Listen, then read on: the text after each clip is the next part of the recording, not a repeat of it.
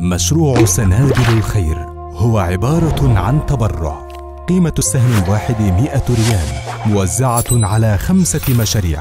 قيمة كل مشروع عشرون ريالا على النحو التالي. الصدقة الجارية.